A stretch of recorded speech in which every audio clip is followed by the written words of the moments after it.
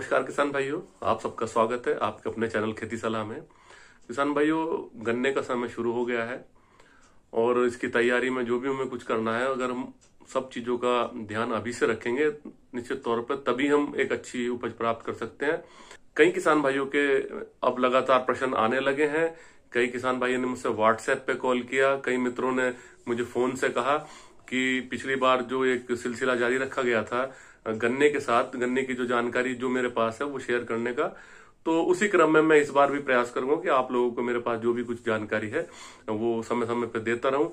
देखिए किसान भाइयों, ज़्यादातर लोगों के, मेरे मित्रों के या जो भी मेरे इस चैनल से जुड़े हुए दर्शक हैं, उनके प्रश्न ये आ रहे हैं कि, डॉक्टर साहब, ये बताइए कि अब गन्ने का जो शुरू होने वाला है तो हम क्या क्या सामान डालें क्या क्या ऐसी चीज़ें बाज़ार से खरीद कर डालें कि हमारा गन्ना बहुत अच्छा हो, बड़ा अच्छा फुटाव हो, बहुत अच्छा उत्पादन हो। देखिए, आज इस चैनल से यदि कुछ किसान नए हैं या हमारे पुराने दर्शक हैं, इस चैनल पे मैं जब भी आपसे कोई जानकारी शेयर करूँगा तो केवल और केवल वो जानकारी वैज्ञानिक तथ्यों के आधार पर की जाएगी, शेयर। और जो भी वैज्ञानिक संस्तुतियाँ हैं, वैज्ञानिक विधियाँ हैं, वैज्ञानिक तरीके से जो भी खेती की जाती है या करनी चाहिए, मैं उसी की जानकारी आपको शेयर करूँगा। और वैज्ञानिक तरीके से जो भी खेती होती है, उसमें यह कहा जाता है कि अच्छा उत्पादन, ज़्यादा सामान, ज़्यादा खर्चा, ज़्यादा खाद, ज़्यादा पानी, ज़्यादा बीज देके नहीं की जा सकती, बल्कि उन्नत वैज्ञानिक विधियाँ सही समय पर, सही जानकारी के आधार पर की जाती है तो निश्चित तौर पर हमारा मकसद अगर हम एक एकड़ हम कोई गन्ना कर रहे हैं और उसमें हमारा उत्पादन कम है तो हमारा मकसद यह नहीं है कि इस बार दो एकड़ दो एकड़ में करी जाए खेती, जिससे कि हमारा उत्पादन बढ़ जाए और ज़्यादा सामान डाला जाए, नहीं। हमारा मकसद ये रहेगा इस चैनल पे कि हम उसी एक एकड़ में अपना उत्पादन ज़्यादा कैसे करें और लागत किस तरह से कम हो।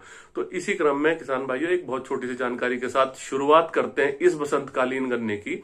और जैसे कि जो सही समय की बात करेंगे इस वीडियो में सब किसान भाई जानते हैं, लेकिन मजबूरीवश और खासकर जो हमारा पश्चिम उत्तर प्रदेश का जो किसान है खेतों में गेहूँ है और गेहूँ के बाद गन्ना बोता है तो स्वाभाविक सी बात है वो अप्रैल, मई में पहुँच जाता है, जून तक भी पहुँच जाता है ये थोड़ी हमारी मजबूरी है, लेकिन इस इस बात से गन्ने को, का बोने का समय तो बदल नहीं जाता है किसान भाइयों तो जो उपयुक्त समय गन्ने का 15 फरवरी से, और आप पूरा ही मार्च बो दीजिए इकतीस मार्च तक गन्ना बोने का सही समय कारण क्या है? कोई महीने से मतलब नहीं है, किसान भाइयों। मतलब है 20 से 30 डिग्री तापमान पे।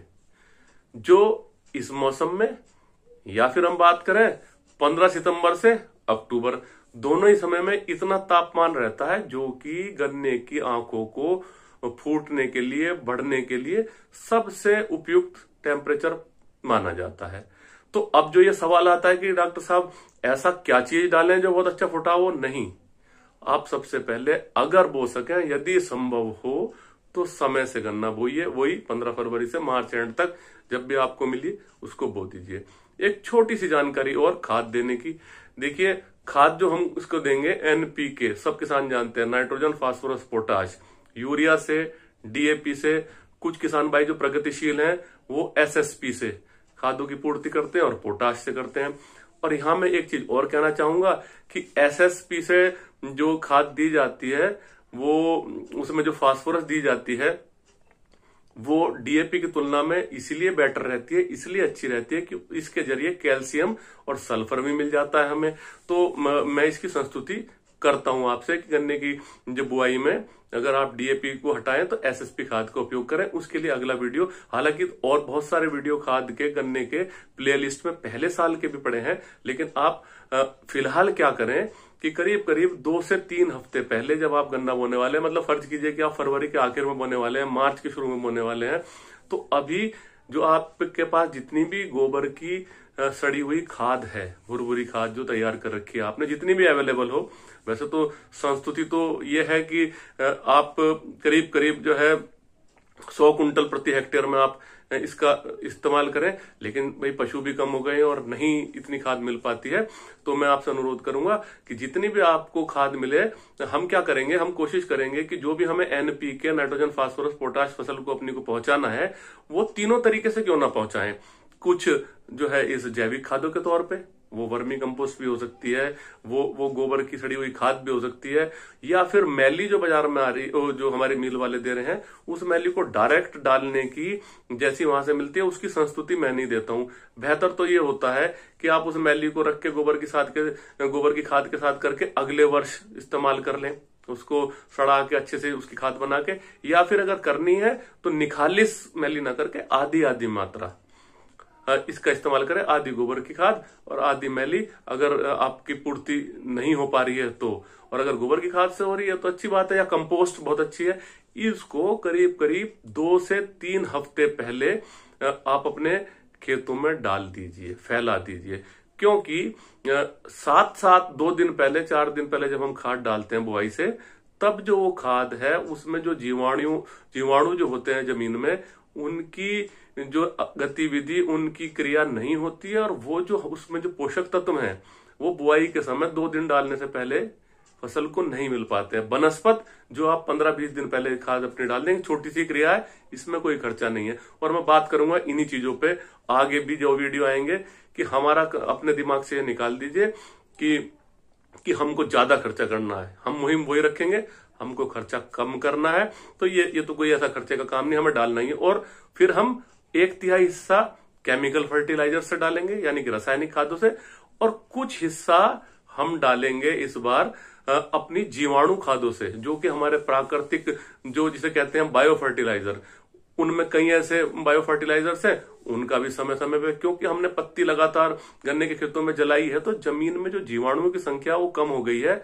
उससे होता, हो क्या रहा है कि खाद्य तो केमिकल बहुत डाल रहे हैं, लेकिन वो मिल ही नहीं पा रही, क्योंकि हमारी मिट्टी में जीवाणु कमी हो गई है, और जब तक दोबारा से जीवाणु नहीं पहुंचाएँगे मिट्टी में कितना ही खर्चा करते रहिए बहुत ज़्यादा फ़ायदा नहीं होने वाला है। तो एक छोटी सी जानकारी ये थी, गन्ना बुनने के समय का ध्यान रखेंगे। गन्ने की जो है हम खाद पहले बिछा देंगे। गन्ने के खेत की तैयारी बहुत अच्छे तरीके से करिएगा किसान भाइयों। जैसे भी आप पहले एक जुताई आप पलटने वाले हल से या किसी मशीन से करते हैं, उसके बाद तीन चार बुआई ऐसे करते हैं कल्टीवेटर से, जिससे कि आपके जो है बिल्कुल ढेले वगैरह सब खत्म हो जाए, खरपतवार वगैरह सब आपके हट जाए या बिल्कुल अच्छी तरीके से मिट्टी भुरभुरी हो जाए, इसका भी बहुत बड़ा रोल है। इसको हम करेंगे किसान भाइयों, और ये छोटी सी जानकारी थी। इसके बाद बहुत जल्दी जल्दी मैं छोटी छोटी जानकारियों के साथ अब लगातार ही शुगर केन के गन्ने के वीडियो डालता रहूँगा। नए किसान भाई, इसको सब्सक्राइब करें चैनल को ज़रूर, जिससे कि मैं जो भी जानकारी दूँ, आपको लगातार मिलती रहे। वैज्ञानिक तथ्यों के आधार पर चलें। भले ही आप जो है, इस बार पाँच बीघे में, दस बीघे में करके देखें, बाकी जो आप अपनी खेती कर रहे हैं, बिल्कुल वैसे ही कीजिए। आप फ़र्क महसूस करेंगे जब जब आप अपनी डायरी में एक खर्चा भी लिखेंगे। इधर खर्चा लिखिए और तब उत्पादन देखिए। अब ये क्या तरीका हुआ? कि अगर आप खर्चे पर तो ध्यान दे ही नहीं रहे हैं, आपने ला ला के बहुत सारी ऐसी चीज़ें डाली जिसकी शायद उसको ज़रूरत ही नहीं है फ़सल को तो फ़सल में वही डालेंगे जिसको, जिसकी उस चीज़ की ज़रूरत है। मैं प्रयास लगातार करता रहूँगा कि मैं जो भी मेरे पे जानकारी है, मैं आपको समय समय पर शेयर करता रहूँ। इन्हीं शब्दों के साथ फिर मिलेंगे। जय हिंद, जय भारत।